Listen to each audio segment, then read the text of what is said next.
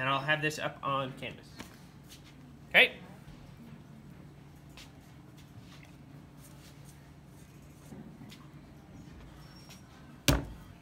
So far we're the same. Water X, stick your clay down. Get your hands wet. Push down on top and on the side to get your clay to stick to the wheel. Cone up. Cone down. Okay. That was way easier than the first one. Now we're going to center this, but in order to, in order for your plate to have a stable base, you have to center this to be low and wide. Okay? Everything else I've centered for you in other demos has been right about there. Okay? For plates, you're gonna push extra with your fist on top. You can do karate chop here if you want to. Okay? But push extra with your fist on top. I'm gonna turn this way for a second so you can kind of see where I'm pushing and so this camera can see what I'm doing. I'm gonna push down a lot with my right hand and slowly start moving my left hand away. So pushing in the middle. Now, if you don't have large hands, it's hard to be able to push on this whole surface at the same time. So I start in the middle and I kind of move my right hand towards the edge where my left hand is. Okay? That's an air bubble, by the way. That means I didn't do a good job wedging.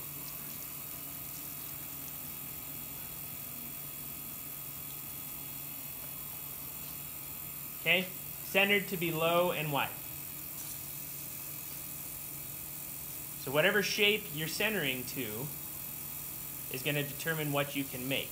So if you are making a tall vase, if one of you uh, is determined enough to try to make your 10 inch vase on the wheel, and keep in mind throwing 10 inches tall on the wheel is something that only like four or five students in the program can do.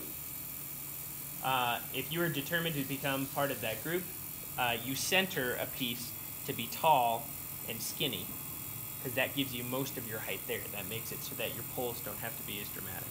Okay? If you're making something short, like a plate, you center it to be short so that you don't have to squash it and stretch it quite so much once you already have it open.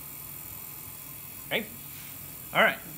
When you open something like this, remember you still only want to have a quarter of an inch at the bottom.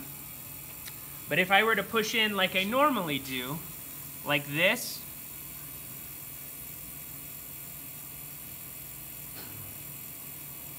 okay, and then oh, opening it wide, this is the part that gets difficult. I have a lot of space to cover between here and here in order to get it open where I need it to.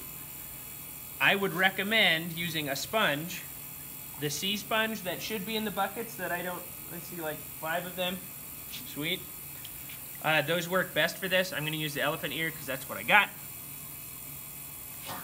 And I'm going to slow my wheel down just a little bit.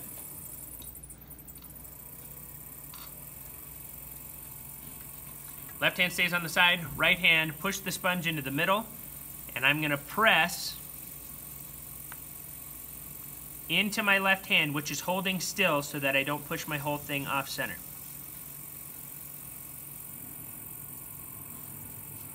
Does that make sense?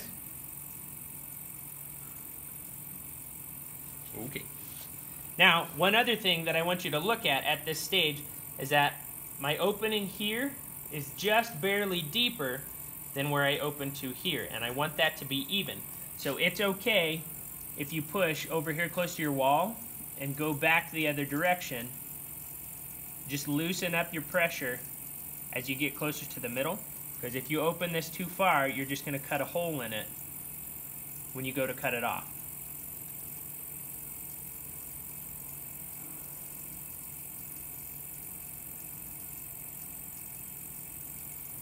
Okay, so open wide. Here's a new step. You're gonna take your blue rib, okay, and now remember how we use the 90 degree angle for some things? Or wait, that's level two. We use this to make lids, but if you've ever used this to like do your pre-trim, we're actually gonna use the more rounded edge pointing at the middle of your piece. I'm gonna start in the middle with that and push down and drag towards the right. Do not drag towards the left on this stage. If you start over here and go this way, it's going to gouge your piece and ruin the whole thing. Okay? Why do I only work from the center moving right?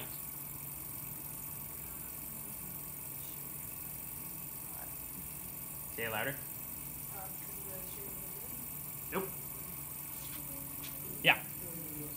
It's the way the wheel is spinning. If I'm moving over here, this clay is spinning into the tool, right? If I'm over here, with the direction that I'm holding the rib, like this, the clay is spinning underneath and away from the tool. Does that make sense? So it'd be like uh, if I were to have a stick and I drag it this way behind me, it's going to be fine. If I hold it the same angle and try to push it away from me, I'm going to wind up with a stick in my belly button eventually, right? Same concept. It's like shoveling the driveway. Anybody else? You're shoveling, and then the shovel gets stuck in one of those driveway lines, and it knocks the wind out of you. And then you throw the shovel across the street, and the neighbor's like, "Thanks for the shovel." Anybody else? All right, just me. All right, so now we have it open. And now we're going to pull. Your pull does not have to be quite as drastic here because you don't have a whole lot of clay to move over here. Okay, so I'm going to pull, slow your wheel down just a little bit, pressure into the bottom. You can see where I'm pushing on the inside here with this finger. Push, slowly lift, Let go gently as you get closer to the top. Push in at the bottom. Sometimes it helps if you push the wheel head first and then into the bottom. That'll help you avoid some of that tree trunk of clay. You're like, tree trunk? What is he talking about? This stuff down here that we're going to have to trim off anyway. If you push into the wheel head first, it helps avoid some of that. Okay? All right. So we pulled. Typically in this case, we would go to shape immediately, but we're not. We're going to do our undercut and our pre-trim first because once we fold these walls down, we're not going to be able to get it.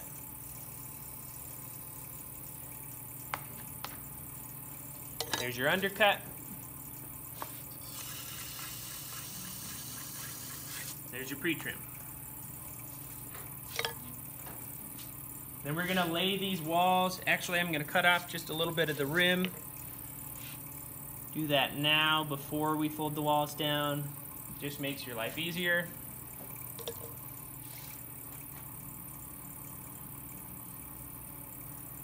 I'm going to round off that edge. All right, now laying the walls down. I'm going to put my left hand on the side like this. My right hand, I'm going to push flat fingered onto this wall, pressure down. And as I do that, I kind of turn my left hand this way and I'm pushing the wall into that hand.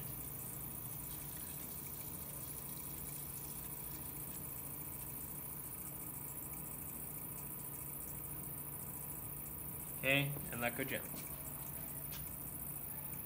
All right. Take your sponge,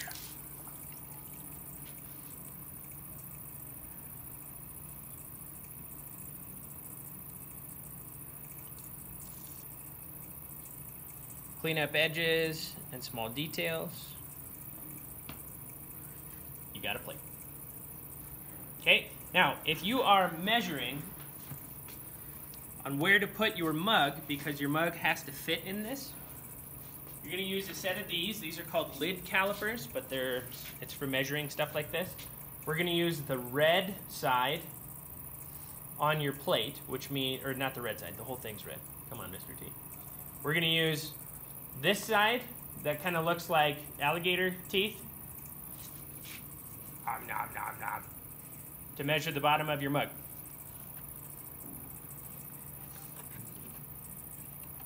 If I could pick it up, okay? So we're gonna use this to measure the bottom of your mug. And the width after your mug has been trimmed is when you will do all of this. Okay, but I measure the bottom of my mug and how wide that is. Sorry, it's hard to do this green. So I've measured how wide that is, which is this wide. And then we're gonna switch to the other side, this side that looked like uh, duck lips. And I'm gonna set it, I'm gonna line it up in the middle of my plate and gently set it down to make an indent for where my mug is going to go. Okay?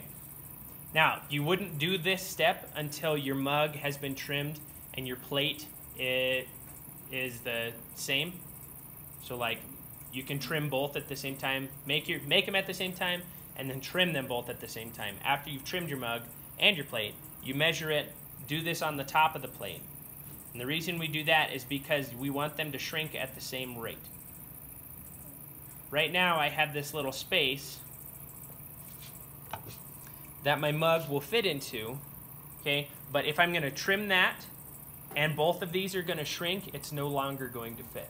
You just took a measurement that's not gonna work out for you. Okay, I'm gonna take this tool and press down in that little groove I just made to make that just a little bit deeper so that your mug stays put. Okay. That's all you got. You don't have to do this whole circle thing if you're just making a plate. If it's a mug that has to fit on top of it or a cup and saucer, again, you don't do this until you're trimming, but I'm showing you just for the sake of adding that process. We will trim next week. Are there any questions about plates? Okay, there's a million and a half videos on how to make a plate on the YouTubes. Uh, this is just going to be another one of those. So watch other people make them. This is one style of plate. If you go to Soft Earth Ceramics on Instagram, uh, she has a whole different style of plate, whole different style, uh, and they're actually kind of cool. So check them out. Good to go. Project number one officially starts on Monday, so please make sure you have a plan. What project are you starting with? How are you going to make it? And that project is due January 31st. Happy Friday, everybody.